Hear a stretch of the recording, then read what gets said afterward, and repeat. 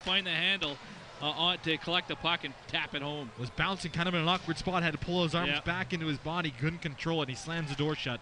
You don't get many gifts like that against this Rocket team. Four on four is over. Hazel just, oh, now they're going to talk. Kulda's going to go with Myles Bell right out of the box. Bell, uppercut. Kulda gets another shot in. Kulda with rights. Look out, Bell's got his right arm free. Now Kulda trying to wrestle him to the ice. Kulda's jersey's coming up here. Oh, Kulda, or Bell's feeding uppercuts now. Linesman dive in.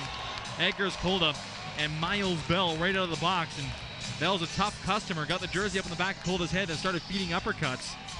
And they're both going to go off here for fighting. So back to five on five. But Eddie Kulda stood in against Myles Bell.